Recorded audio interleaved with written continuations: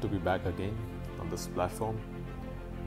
Let me talk today about another important aspect of uh, running a startup is to have a complete understanding of your targeted uh, clientele or the customers.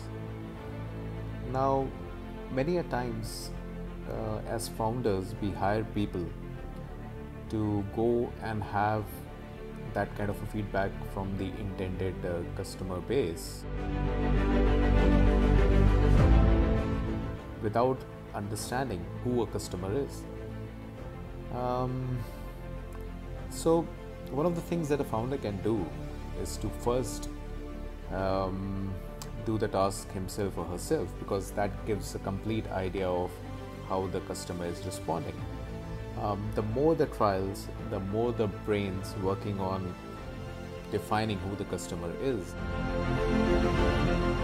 will lead to a complete definition of uh, customer, which is extremely important when you try to uh, focus your marketing or advertising activity.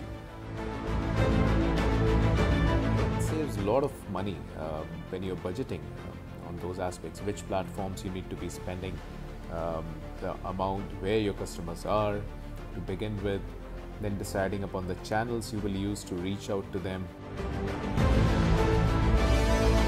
And once you have this understanding, the budgeting and becomes very cost effective. And unless and until you know as a founder who your customers are, and unless and until you have got your hands dirty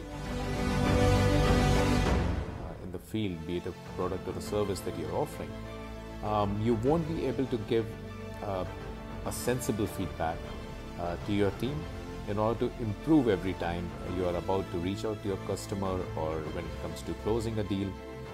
So be there uh, to begin with. Yes, you will require hands uh, to do that work because you cannot do everything alone. But have an experience of reaching out to the customer and uh, interacting with that customer firsthand.